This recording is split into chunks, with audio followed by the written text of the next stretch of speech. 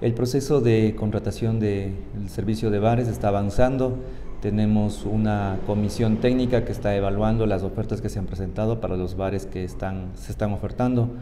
Hay alrededor de 70, 76 ofertas que están eh, subidas al sistema, ¿no? Y obviamente hay que revisarlas de uno en uno.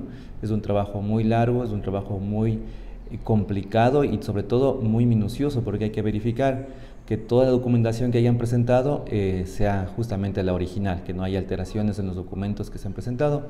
Y obviamente eso demanda un poco de tiempo en la revisión, eh, también tanto a nivel del distrito como el solicitar a las diferentes instituciones que han emitido estos certificados, si es que son uh, originales o, se fueron, o fueron dados por estas instituciones. Uh -huh. Al momento, ¿cómo va el proceso desde inició? Eh, vamos muy bien, vamos muy bien, vamos avanzando, se han tenido pequeños eh, inconvenientes, llamémoslo así, pero se ha superado, ¿no? Se ha superado conjuntamente conversando con la comisión técnica, conversando con los, con los oferentes, se, se les ha estado explicando, se les ha estado dando las, los, los lineamientos para que puedan avanzar en ese sentido. Estamos avanzando y esperemos que en estos días ya se pueda tener los informes al respecto de la procedencia o no de las ofertas que han ingresado para los bares.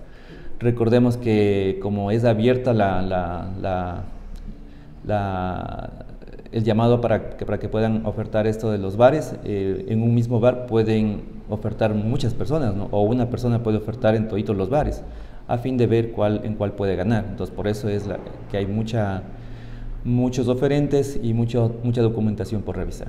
¿Alrededor de cuántos? Eh, son alrededor de 16 bares y 70 propuestas, 70, 70 oferentes. 70 propuestas, sí, 70, 76 la propuestas. La se dio hace pocos días con el tema de unas firmas, no sé qué quedar claro. Ah, eh, hubo una pequeña confusión al respecto de un formulario que, había que, que no había que llenar. ¿sí? Desde acá la, los técnicos, los compañeros de la comisión les habían mencionado de que ese formulario no se debe llenar porque no aplica.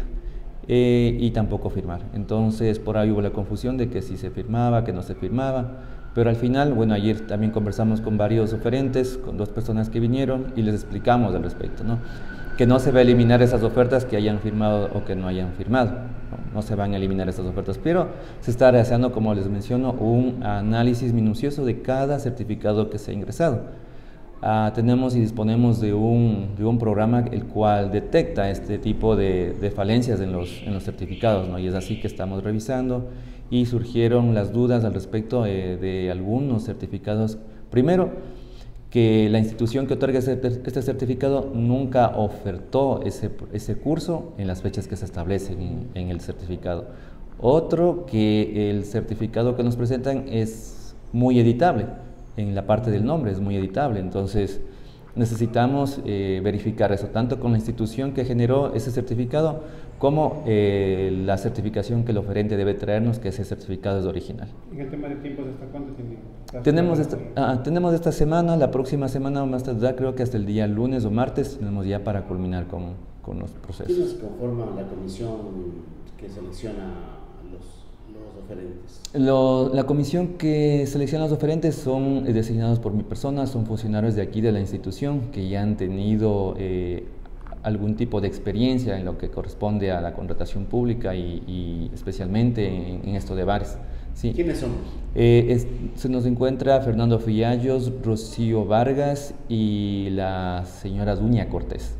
Ellos son los técnicos que se encuentran acá eh, y se encuentran realizando ese proceso.